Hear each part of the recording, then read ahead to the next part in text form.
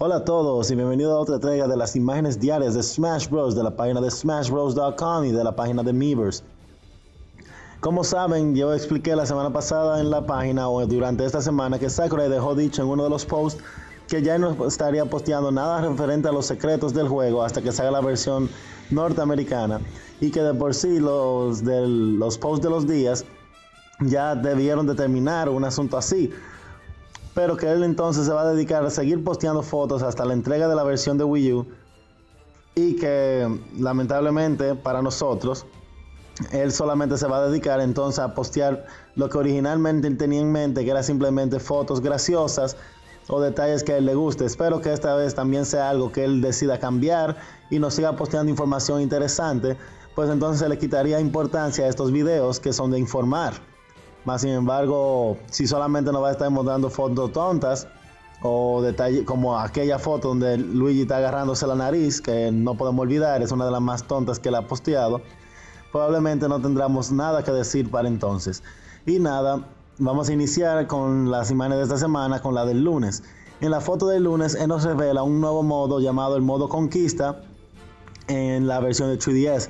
En este modo, este recolectará todas las victorias que se estén presentes en el modo global, que va, como saben, es, es la parte donde se, se ve el ranking de las personas, tanto como por el jugador, el personaje que se usa y las victorias que está tenido.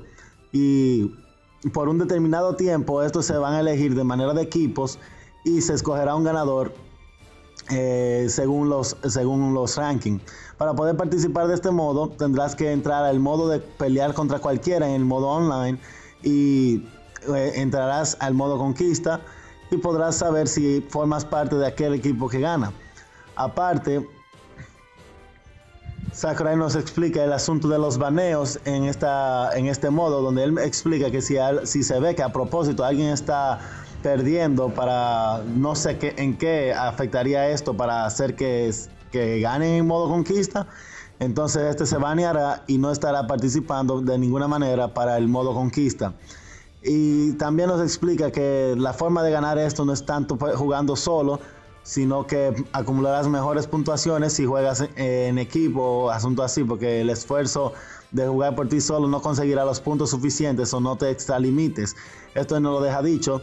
Todo esto está en modo beta. Es interesante, pues es como una forma de, tal vez saber qué región está jugando mejor, si la área oriental, si la occidental, dependiendo del equipo ganador o de las personas que estén ganando. Y eso es interesante, por lo menos para entretenerse en cuanto a saber qué tan avanzado va el metagame del juego.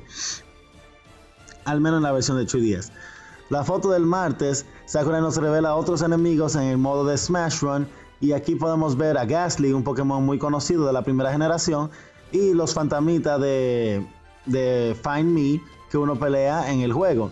Lamentablemente él no le puso énfasis a la forma en que se pelean estos fantamitas en el juego, pues recuerden que, o si lo han jugado, es un jueguito gratis que trae el 3DS donde puedes enfrentarte hasta para conseguir gorritos y otros detalles desbloqueables para la Mi Plaza y para configurar tu Mi, obviamente. Entonces, el, el asunto es que Sakura explica que el fantasma Gasly de Pokémon no será afectado por ataques físicos, sino que tendrás que dispararle con ataques especiales o ítems.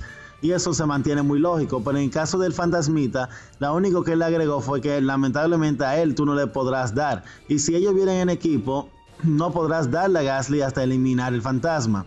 So, él explica que para poder quitar el fantasma de, del Me, de Find Me, ganarle es con agarres.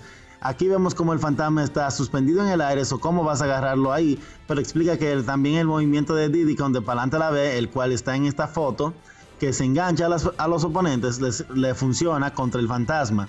So, esos ataques que se enganchan de las personas eh, también tendrán funcionamiento contra este fantasmita. Probablemente si te deslizas debajo de la pantalla, ellos te siguen, te caen atrás y bajarán a tu mismo nivel de, espacio para poder agarrarlo, porque de todos modos sería así. Si te colocas del otro lado, podrías matar a Gasly. So, este sería el efecto que hay. Esto es agregándole diversidad también a Smash Run con más oponentes, más enemigos que encontrarse en el camino. So, eso está bien.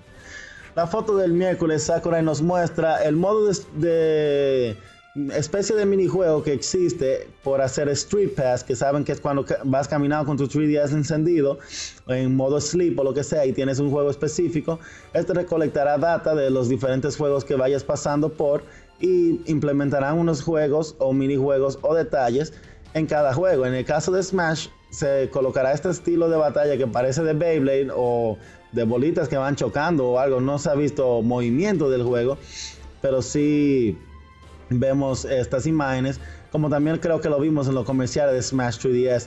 Son Sakura explica, lo único que nos dice es que al momento de jugar este modo, si has encontrado más personas a la vez que solamente una o dos, el premio será mucho más grande como siempre, mientras más mejor.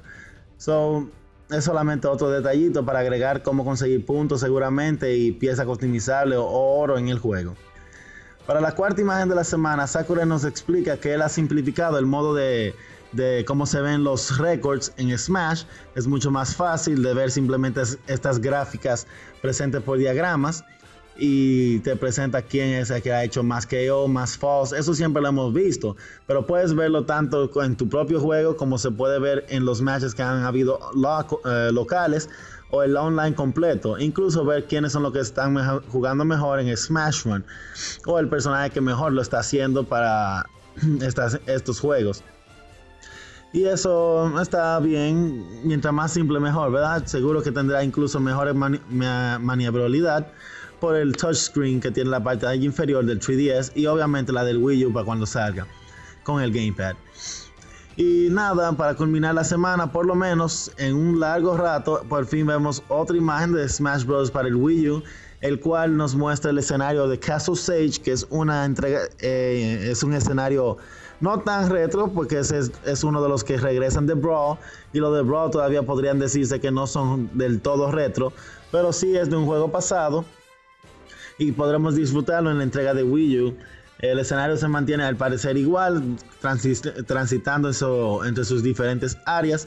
Como Sakura nos termina explicando que este, este escenario, así como el del Coliseo, no se mantienen simplemente como especialmente exclusivo para los juegos de la saga de Fire Emblem.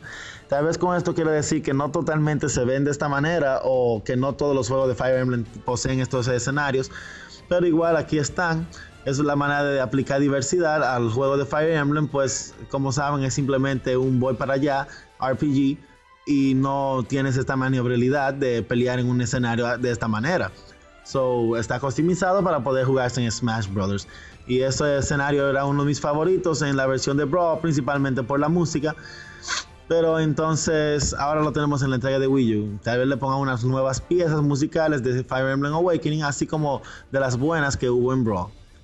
Y nada, así culminamos estas imágenes. No hay información nueva, otros detalles, pero para eso pueden estar viendo mis videos si se lo han perdido, que hablan de leaks, informaciones y rumores y etcétera de Smash durante la semana que he estado recolectando y posteando para ustedes. Y nada, como siempre, cuídense mucho. Happy gaming y happy smashing.